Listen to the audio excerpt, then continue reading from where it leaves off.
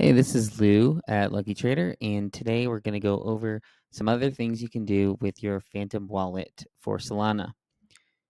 Here you'll see I'm on the ftx.us slash NFTs page. And here you can scroll through their marketplace. They have Ethereum collections up here, but you'll also notice that they have some Solana collections, and they're adding more collections each day. So here you see some of the the more known collections on Solana. So you have the Degen Apes, the Solana Monkey Business, Galactic Gecko, and you can quickly see what the floor prices are on these things and explore. You can buy, sell, everything like that right on FTX. So, how do you interact with Phantom?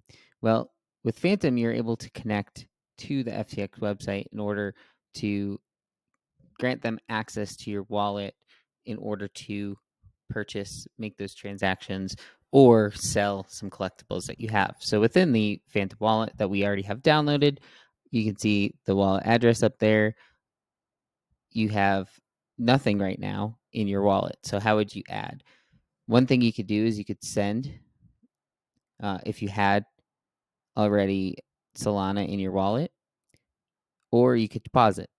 In deposit right here, you could use the transfer from FTX. And this is probably the easiest way to do it as of now. And this would open a window. You sign into your FTX account and it uses FTX Pay in order to transfer the Solana that you purchase on FTX through the exchange goes directly into your Phantom wallet. Once you have that in your wallet, you would be able to go in and do a few different things within the wallet.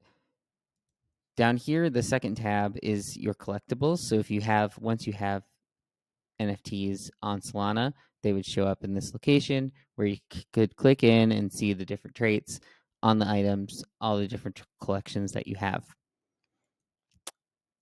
On this third tab, you would be able to swap the Solana that you have for different currencies. This is done through the Raydium portal. And so it's powered by Raydium whatever coins that Raydium has, you would be able to swap right here within the interface. The fourth tab, you'll see your recent activity. So if you send, receive, or if you're buying NFTs, you'll see that on here. You can click in to see the individual hash. The last tab, you'll be able to change the name of your wallet. So you can call this FTX and you can change a couple different things. You can add addresses. You can add trusted apps. Uh, once you connect to a website, it would show up here. You would be able to revoke the access later.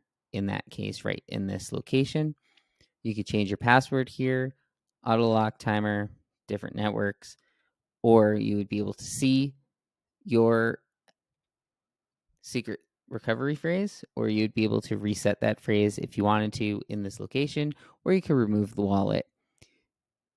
If you were planning on changing your wallet or you felt like it may have been compromised, this could be a useful page for you.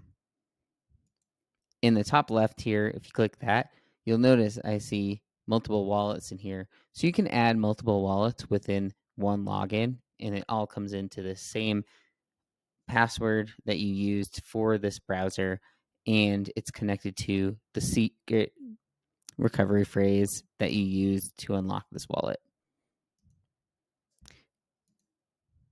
Those are some things you can do in the, the Phantom wallet and have a nice day.